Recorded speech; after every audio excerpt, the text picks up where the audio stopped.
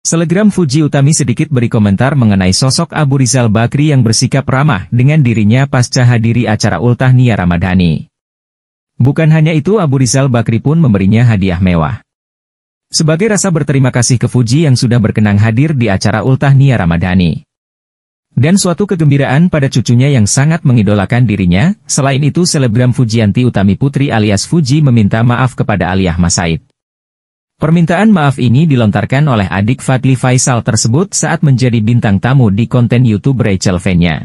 Mengutip dari potongan video yang beredar di media sosial pada Kamis, 23 Mei 2024, Fuji meminta maaf kepada kekasih Tarik Halilintar tersebut lantaran sering dihujat oleh para penggemarnya.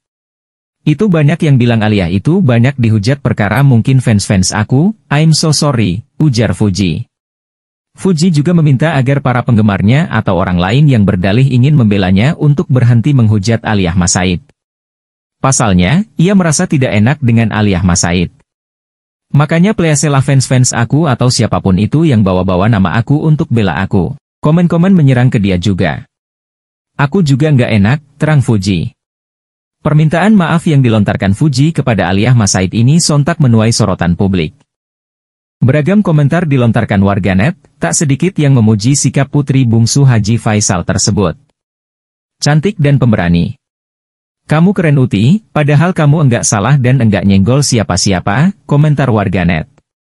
Selain cantik juga baik ya Uti, timpal warganet.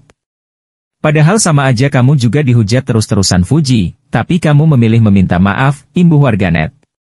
Fuji memang cantik banget, tambah warganet.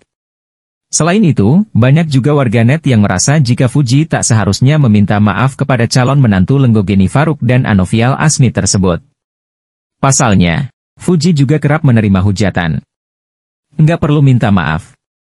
Lu aja kena sasaran nyinyiran netizen kok, komentar warganet. Ya kalau Fujinya emah nggak salah apa-apa. Tahu kan yang suka mempermasalahkan? Timpal warganet.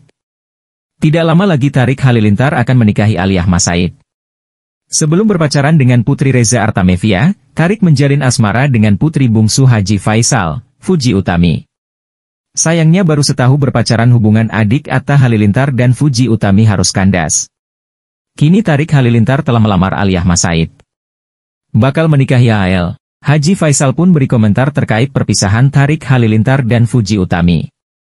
Menurut Haji Faisal perpisahan Tarik dan Fuji sesuatu yang bagus karena mereka berpisah secara baik-baik. Terlebih, Tarik Halilintar dan Fuji Utami berpisah secara baik-baik. Bagus banget menurut saya, perpisahan Fuji dan Tarik, bagi orang yang pernah dekat, ujar Haji Faisal di kawasan Tanah Abang, Jakarta Pusat, Rabu, 22 Mei 2024. Paling ideal padahal masih muda, bisa.